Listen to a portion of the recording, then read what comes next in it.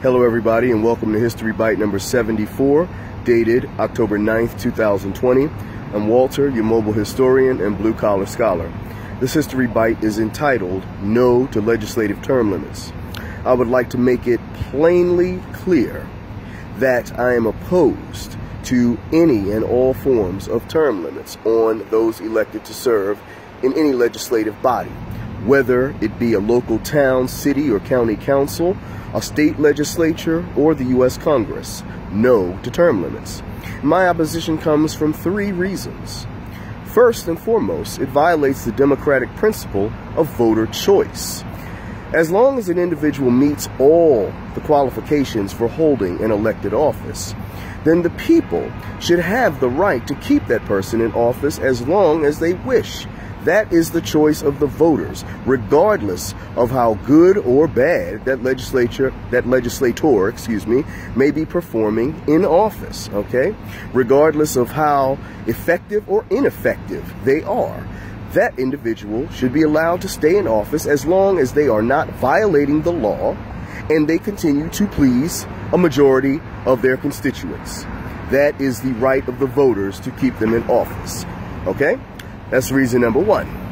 Reason number two, it deprives the legislature of institutional memory when you have term limits.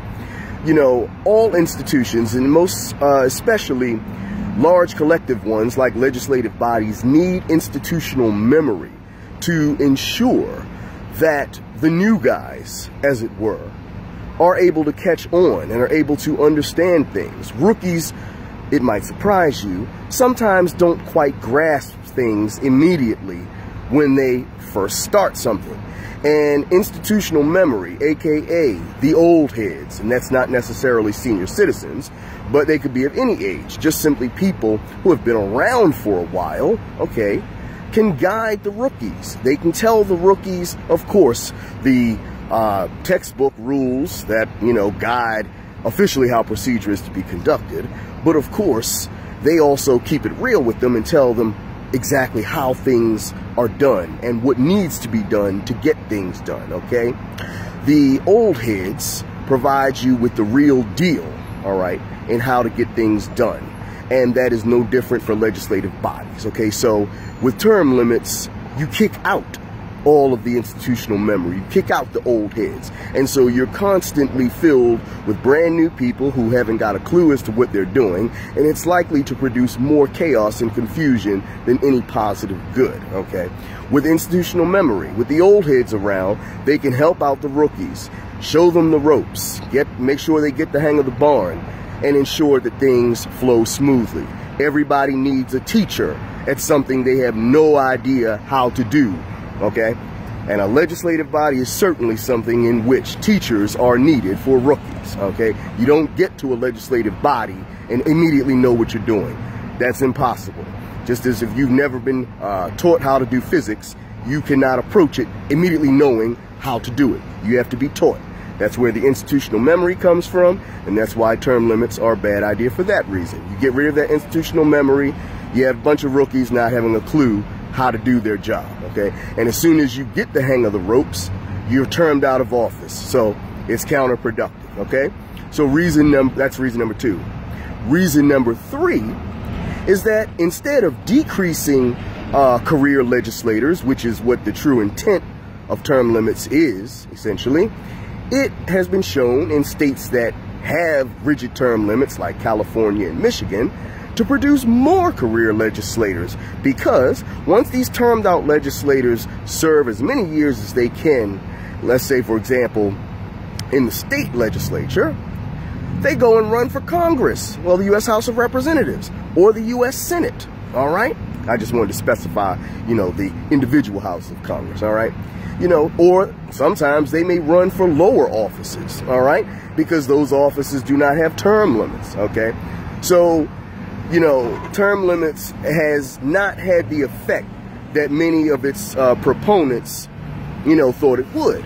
As it has not reduced career legislators, as you know, it has in fact produced the opposite. It has produced more career legislators because these people are not ready to leave office. And instead of you know, once their terms are up, you know, them going back to being a full-time lawyer or a programmer for Apple or, you know, whatever they did before they were elected to legislative office, they just run for higher office. They run for the U.S. Congress, all right? You know, they might run for mayor of a city, okay? It doesn't make a difference. The point is, they continue to serve in public office. They just run uh, for an office that's not term limited, okay? So those are my three primary reasons. I'll uh, run through them once more. First and foremost, you know, legislators are servants of the people, and thus the people who choose them have the right to keep them in office as long as they want to, as long as those individuals are not violating the law, and regardless of how effective or ineffective they are, okay, people have the right to keep them in office as long as they want. Bottom line. Uh, reason number two, you need the institutional memory of seasoned legislators to guide the rookies, to show them how things are done, to show them how exactly to be an effective legislator. Okay, of course, that's debatable on whether they are truly effective, but at least they get to show the rookies how procedure is conducted, both officially and unofficially.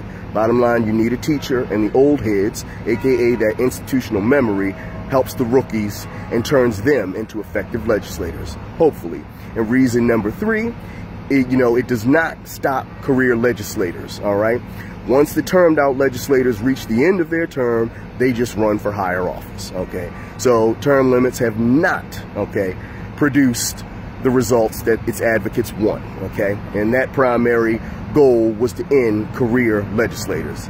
That has not happened, which is why all these three reasons uh, are why I do not support legislative term limits in any way, shape, or form. You may agree with me, you may disagree with me. I understand. Let's talk about it. If you have any questions, controversies, leave them down below, and I'll be happy to engage you in discussion. Take care, stay safe out there, and I'll talk to you at the next one. Peace.